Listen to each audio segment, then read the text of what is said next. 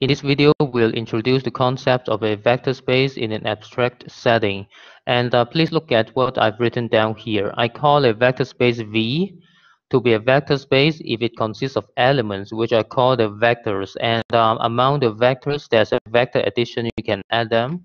After the vector addition, the new vector is still inside the vector space. And also, there's a scalar multiplication where you can multiply any constant value k to any vector, you are still uh, inside the vector space V. And uh, we'll look at a lot more examples a bit later, but uh, the first most obvious example is we can actually look at the xy plane. Uh, I use the notation R2 to represent that. It's two-dimensional Euclidean space here. And now um, you see any vector is basically a vector like this. I mean, you can point out a vector to V starting with the origin here. So you see there are many vectors you can look at. And um, basically, uh, you understand the meaning of vector addition, right? For example, you can add two vectors together. And if you recall how you add the vectors, basically, if you have a vector like this, if you have another vector like this, addition is like this. As uh, the basic thing you learn about the vector in school. And also, you understand the meaning of scalar multiplication, right?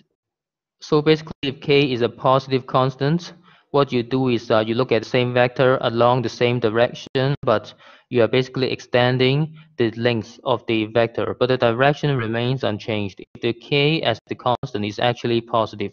So um, we understand this uh, meaning of vector addition and also scalar multiplication on the xy plane extremely well. And obviously, it is the vector space we look at, but um, we would like to look at more interesting examples and we understand that abstractly speaking, as long as the set of elements we look at satisfy these two these two properties, it means uh, you understand the meaning of vector addition and scalar multiplication. We'll still call it a vector space as long as it satisfies the next 10 axioms. So you see all the 10 rules that are stated on this page uh, must be satisfied for the vector space V. And you can check all the properties. For example, uh, if you look at the example you understand so well for the xy plane, um, I think all the 10 properties are actually very obvious if you look at them very carefully. But um, let's look at other interesting examples of vector space and let me put it down here. So the first example, of course, is about the xy plane. We cover all the points on the plane. And basically, you see uh, what I'm saying is that every point, for every point, you can actually draw a vector starting with the origin as the starting point of the vector, right? So my way of pr presentation is about using a point and automatically we get a vector like this. So anyway, one point correspond to one vector. So um, then you can easily check that the previous 10 rules are easily satisfied for our current problem and you understand the meaning of vector addition scalar multiplication so well. And the second example is that we can actually talk about matrices and you see I can look at all the 2 by 2 matrices in the set and I can call each matrix a vector basically. And in that case, do we understand the meaning of vector addition here? And the naturally defined operation is called the matrix addition, right? For each vector. You can call one matrix a vector now. The vector addition simply means matrix addition. And the scalar multiplication is obvious also. And we have learned it, how to do it on the matrices. And it's an obvious multiplication anyway. So um, and you can easily see that um, all the previous rules, the 10 rules for the vector space are, are all correct for the space of 2 by 2 matrices. And that's why we call it a vector space for the second example here. And now let's look at the third example. So the third example is about the set of all polynomials of degree at most 3. And degree of a polynomial is the highest power of the x term if you use x as a variable for the polynomial. And um, now basically you can think of one polynomial of degree at most 3 as one vector. And can you tell me what is the vector addition now? And of course, in this case, vector addition just means polynomial addition, right? And I trust that you're able to do the polynomial addition quickly because, for example, if you have uh, two polynomials like this, you see? And of course, both polynomials are inside this set P3, right? Because both polynomials, the first one is degree 1, the second one is degree 2. And of course, I trust that you can add the two polynomials uh, is x squared plus 2x plus 2. And because the highest degree is 2, which is less than 3, so it is still inside the set we look at. So that's the way we define the polynomial addition, which is very obvious. And I understand that you know the scalar multiplication well. So for example, I can do 3 times p1.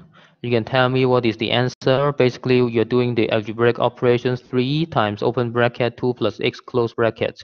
So the answer is 6 plus 3x, right? And and it's obvious this is still inside our set. And anyway, you can check carefully. The previous 10 rules I put in the last page are all satisfied in, the, in this particular case of set of polynomials, and which means that this one is a, another example of vector space also. So for example, please look at this set of elements. I'm taking a look at the xy plane, but uh, I would like to look at all points such that the x coordinate is at least zero. It means um, basically I look at only the right hand side of the plane because these are the points where the x coordinate is at least zero. And for each point, obviously, you can look at the corresponding vector starting from the origin, right? And I claim that it is the vector space here. Can you see why? So you actually have to go back to the 10 rules we put earlier, but the fact is that, for example, you can look, look at the rule number 5. We claim that there's kind of an additive inverse for each vector on the space and such that when you add them, it becomes the zero vector. But unfortunately, um, it is not satisfied in the current case because you see, for example, I randomly take a vector, let's say it's uh, 3, 1, which means I have a vector like this here. The x coordinate is 3, the y coordinate is 1. And you take a look at uh, inverse. The inverse obviously should be minus 3, minus 1, right? And if you look at the plane, basically the inverse is here. However, you see this vector is not in our set. It's not in our set. So it means uh, this vector does, doesn't exist in our set S, right? So it means the rule number five is false. You can see it doesn't exist at all. And and also I think the rule number six is also false. The rule number six says that if you take any constant C, you multiply to the vector in the set, um, you will get another new vector which is still in the set. And I think it's clearly false. Can you see why? Because for example, I can see to be minus 2 it is one of the constant I can choose. And um, you can randomly choose some vector inside the set. And of course this one the x coordinate is bigger than zero right? And uh, of course it is in our set. However when you do the scalar multiplication you get a new vector like this. You see the x now is less than zero. So it's quite obvious that it is not inside our set S right and uh, it gives you a sense that the rule number six is now false right and um, this is a simple example to see that in some sets they are actually not vector spaces. So let's take a look at another example. Now I'm taking all the elements which are 2 by 2 invertible matrices inside set S. I claim that it is not a vector space if you are using the matrix and scalar multiplications as the operations. Can you see why it's not a vector space? Please look at the 10 rules we stated earlier. For example, we can look at the first rule. The first rule basically says that if you take any two vectors in a set, when you add them, it is still in the set. And now uh, let me give a counter example here. For example, let's look at the two matrices M1 and M2. M1 is 1, 2, 4, and M2 is actually minus 1, minus 2, 5, 6, let's say. And uh, let's check these two vectors. Uh, now I call it vector because uh, I'm looking at the topic of vector space. Now, um, are they inside our set S? to, to be inside this set, we need to verify these two matrices are actually invertible. And please recall that uh, to verify a matrix is invertible is actually easy. You can directly take the determinant. And for 2 by 2 cases, determinant is easy to find.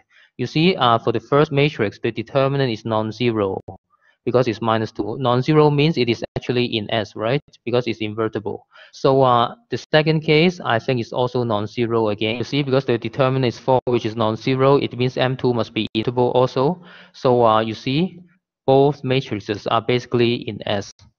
However, after addition, can you see what's happening? When you add the two matrices here together, and what you are getting is a matrix like this. When you take the determinant of this matrix, it must be zero because the first row is zero. And zero determinant means um, such a matrix is not invertible. And it means it is not in S, right? So the mathematical notation is like this.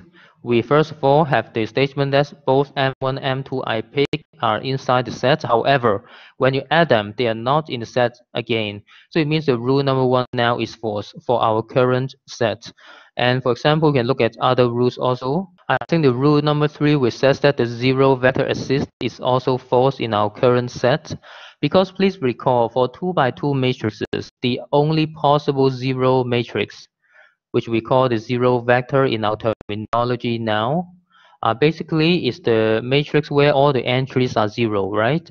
That's the only possible zero matrix. However, this matrix understand the determinant is zero. It means obviously it is not invertible it is not in our current set S. And if you look at other rules, there are more rules that are not satisfied in the current set S. Anyway, uh, it just means that our current set of 2 by 2 invertible matrices, uh, it is not a vector space. And that's the end of this video.